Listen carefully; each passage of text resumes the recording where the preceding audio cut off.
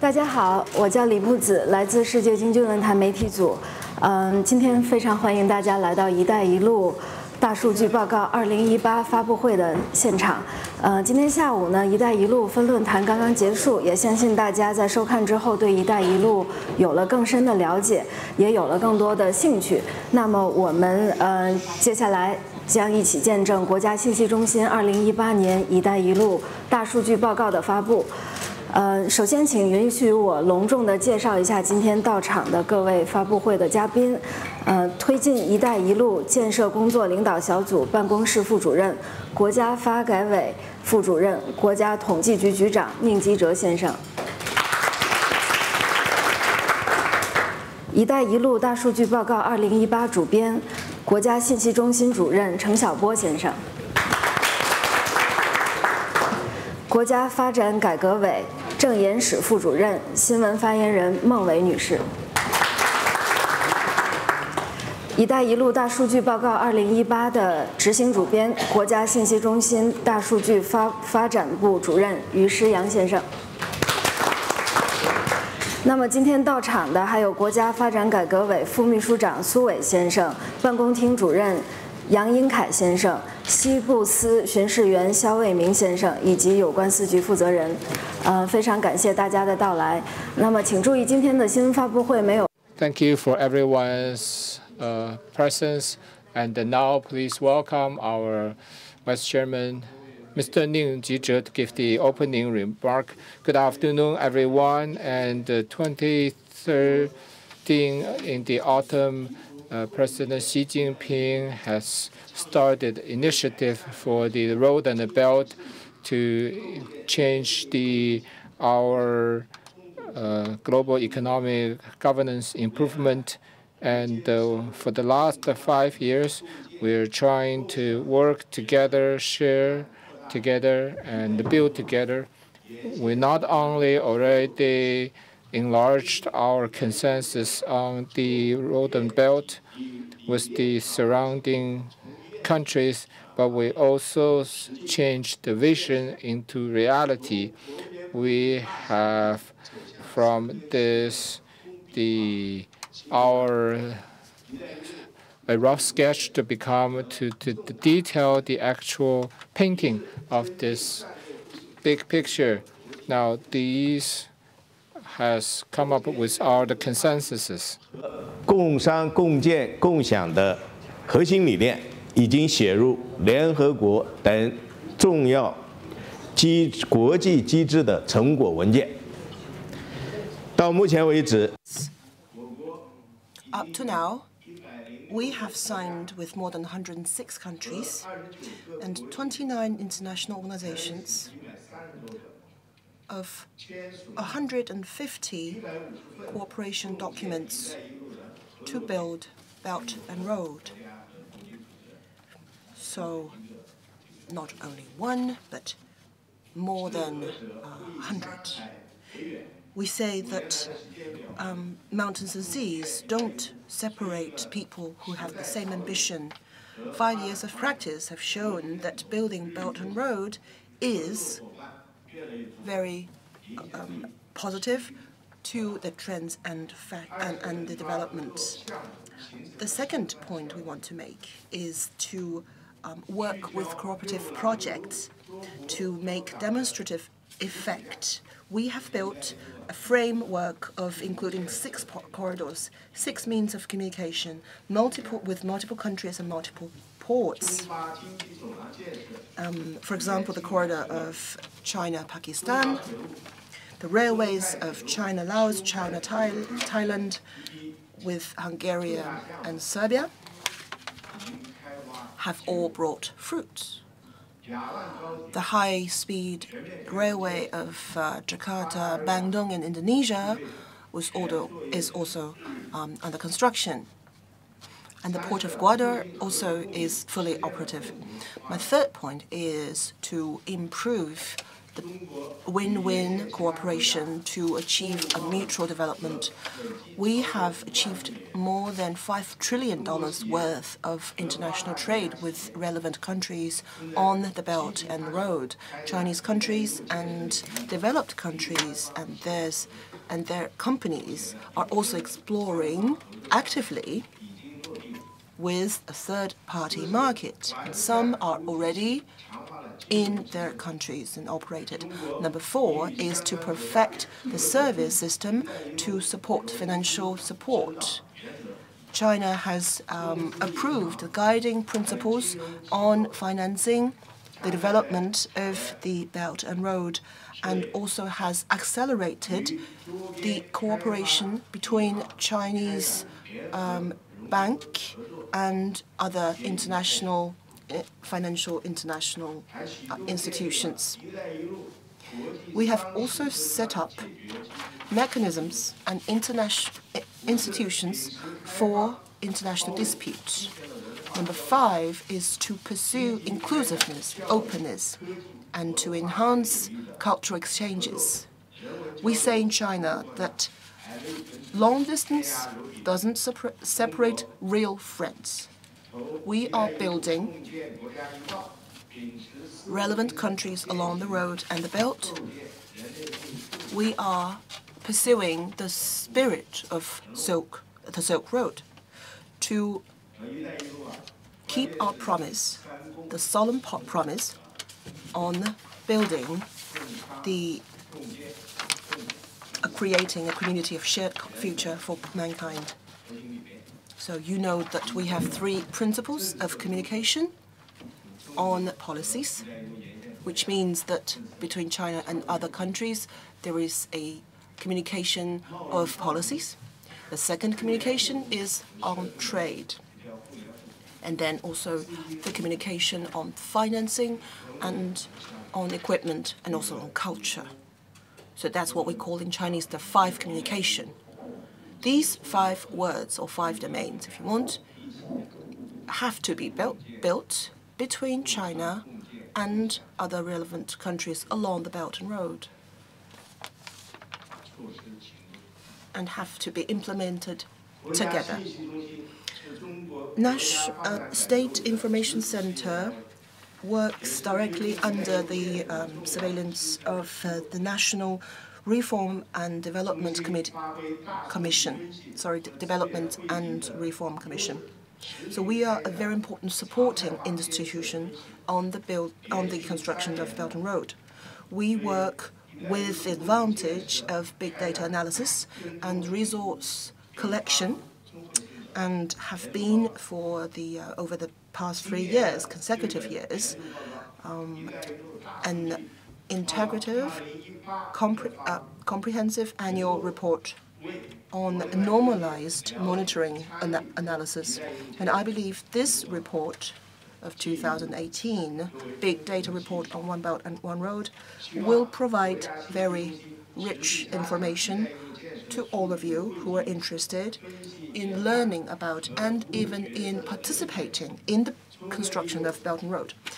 I sincerely hope that our information center will keep on working for the construction of Belt and Road on data analysis and collection to produce more high-quality products and service to make their part of contribution on the international collaboration on the Belt and Road construction. And welcome to all of you, media, friends, journalists, to keep on reporting on our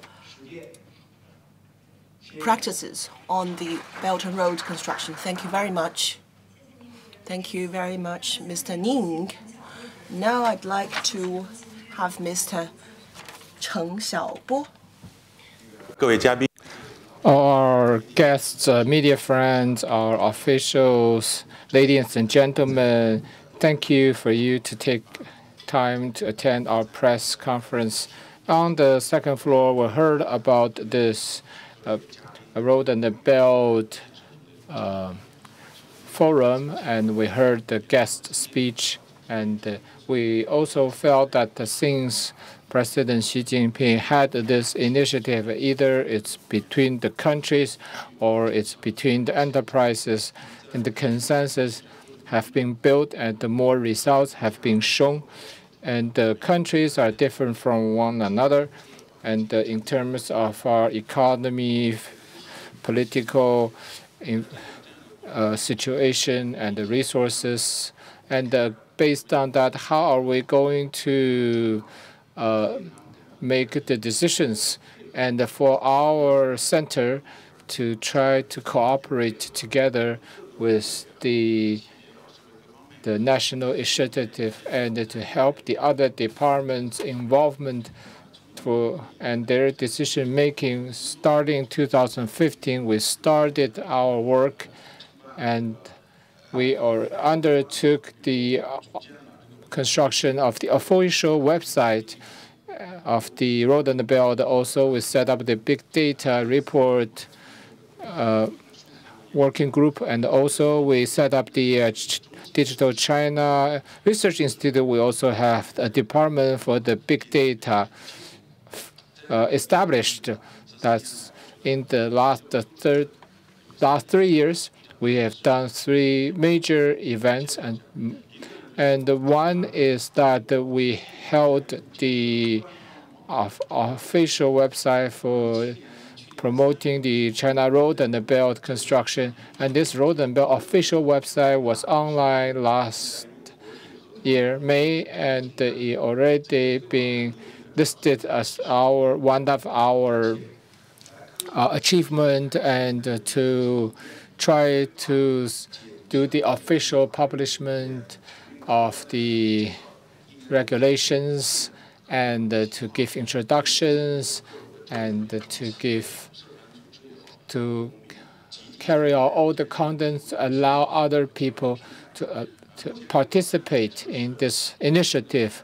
And that this website is different from the one that's in China. We already have six language versions from Arabic, Spanish, French, and the Russian, and uh, also uh, English, these six languages, and the Chinese.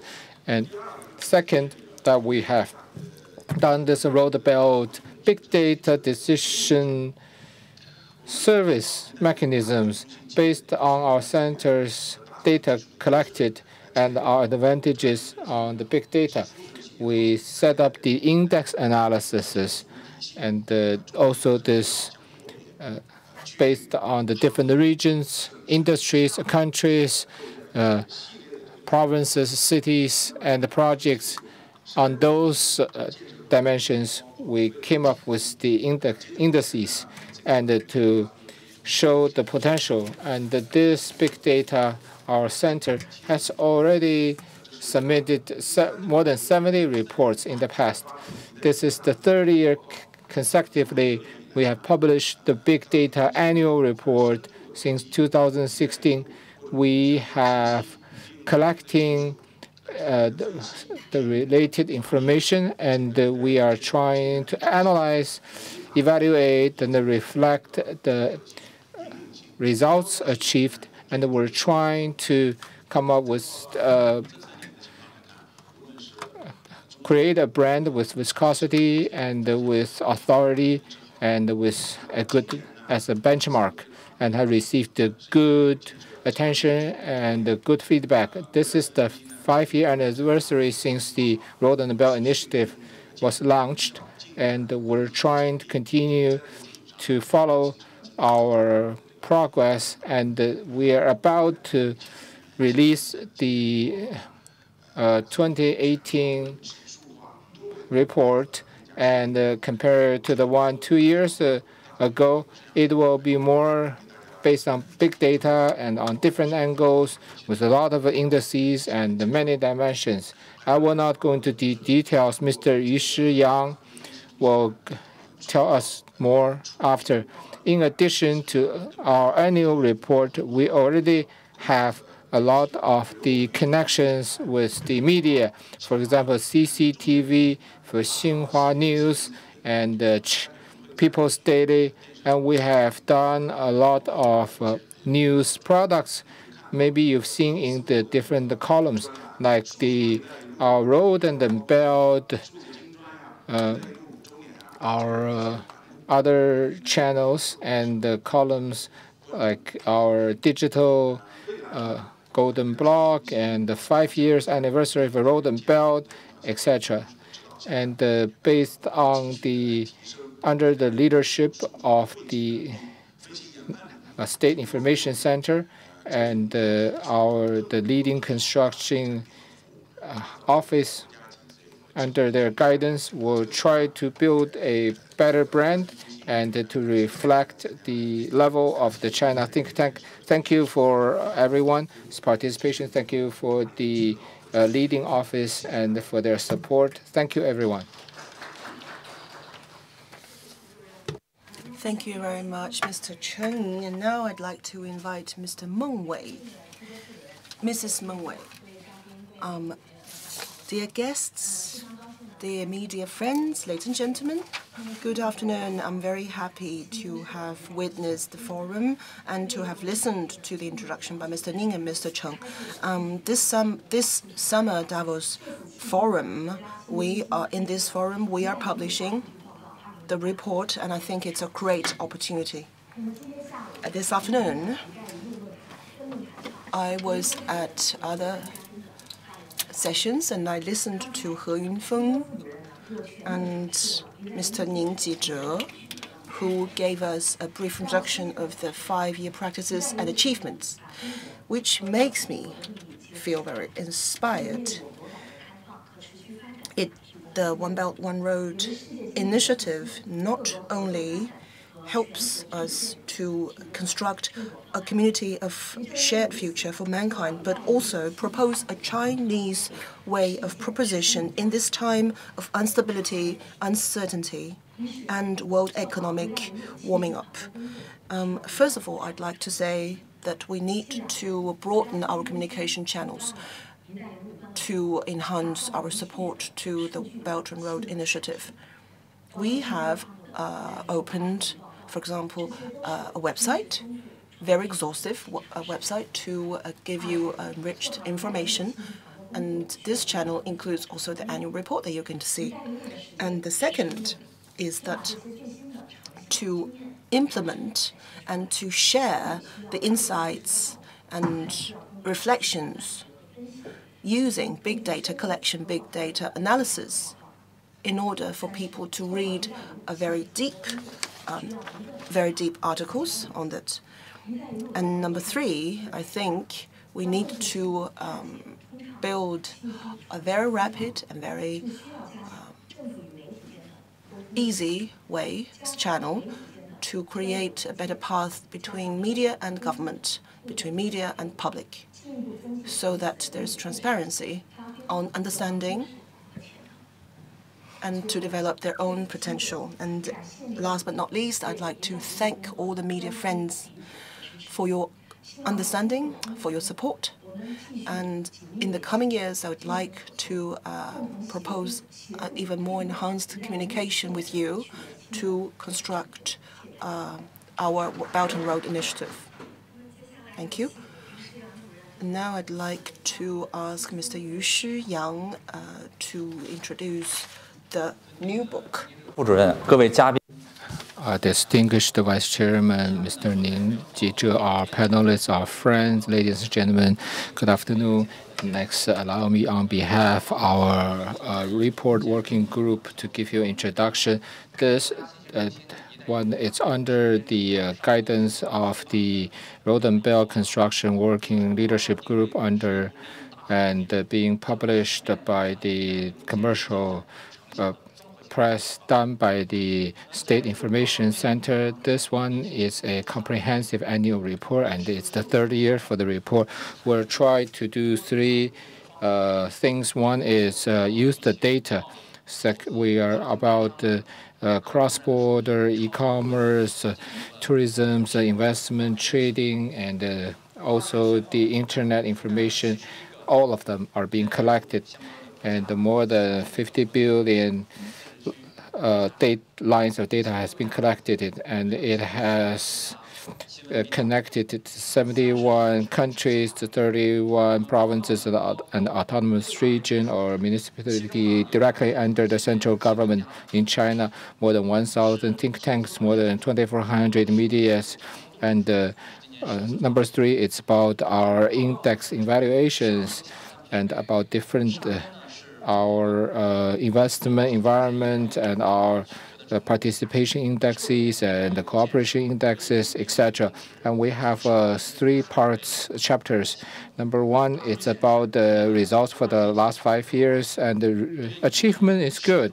And we have seen that big data shows that uh, also foreign media and the internet uh, users are uh, continue to stay uh, pay high attention to the road and belt project, and uh, this our from uh, 2013, we have increased from 16.5% to the 2017, 23.7% in terms of the positive uh, emotions that we have uh, surveyed. And uh, this, we have to have bigger and bigger, more friends. And this, we already have covered more than 100 countries, including Asia, Africa, Latin America, and Europe. And the second chapter, is about our international country cooperation index. From the international cooperation angle, try to evaluate our inter, upper our connecting uh, cooperation results, and it has continued to grow. 2018, the index is at 47.12, compared to 2017 and 2016 has been has increased 2.01 and 3.57 uh, correspondingly. And uh, Russia, Kazakhstan, and other five countries are the top five. Russia has been number one for the last three years. Uh, for the policy exchanges, China with Russia, Philippines, and Cambodia are having the best index scores. And for the infrastructure connecting China with Asian countries have the most direct flights added, and China, uh, uh, East Asia, East Europe, and Mid Asia has the been the most destination for the China railway trades, and for the trades 2017. Uh, China's compared to 2016, 13.4% growth and uh, better than the overall China uh, international trade growth at 5.9%. And uh, especially the most is with the Mid Asia for the our uh, capitals. Uh, we are the the best countries are Russia, Malaysia, uh, also Pakistan, Kazakhstan, and the Dubai, and uh, now it has also becoming these countries are becoming all the road and belt country becomes the destinations for the foreign students and for the tourisms. And the number two, it's about the participation index. Uh, we have these one showing 2018 index is 61 percent. Guangdong is third year consecutively ranked number one in terms of participation index. Shandong number two, and Sichuan and the Hubei province got into the top 10 for the first time. And Henan, Shandong, Shanghai, these areas has the best policies. For Guangdong, Liaoning, Zhejiang has the best infrastructure, and Shandong, Tianjin, Zhejiang has the best economic cooperation. And uh, in terms of uh, people-to-people exchange. Uh, the Western region is doing the best. Uh, Hainan province is doing the best in terms of international influences. Number three, index, index. Third index is about the uh, country investing environment index.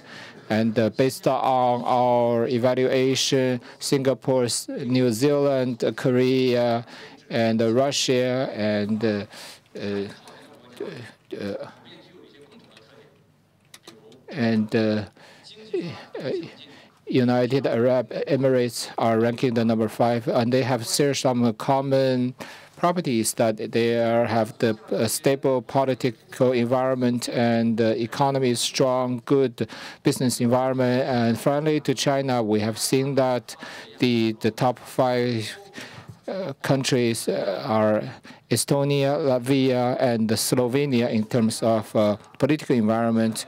In terms of economic environment, we have uh, Vietnam, India, and Bangladesh.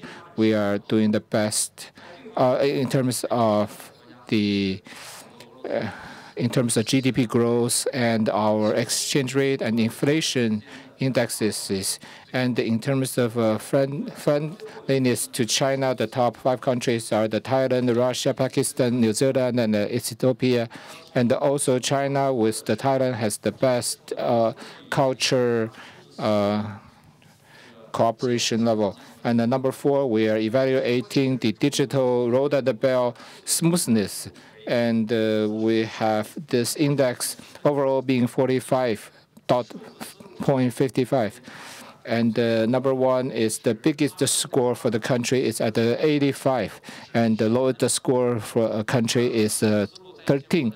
And this digital road and belt has created potential. For example, Lithuania, uh, Uh, Israel and Latvia, although they are very developed, but their connecting and the smoothness with China is at a low level. So they have great potential everyone here are from the media. We also have a Road and Belt Media Attention Index from this uh, media communication angle to see our achievement in this area and China Daily and International Business Daily, China Social Science Daily, and the 21st Century Economy.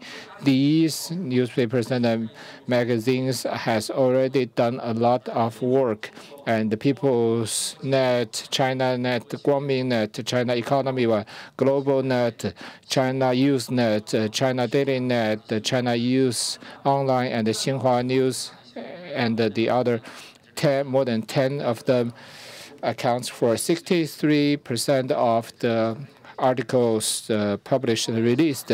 Again, thank you. And uh, now it's about uh, our third chapter. is analyzing the Chongqing, Hainan, Shanxi, Guangxi, and the Dalian regions. time is limited. I'll not go into details. If you want to know more, please read our report. In the future, we'll continue to, under the guidance of the Road and Belt Construction Working Leadership uh, Office, and uh, try to continue to do our contribution. That's the end of my report. Thank you. Thank you for your.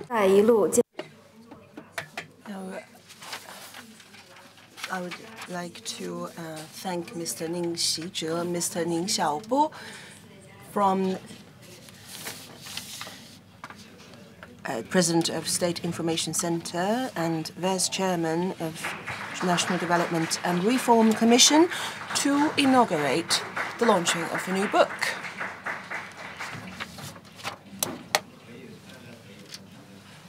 So where shall we take the picture? Okay, well, let's do another one.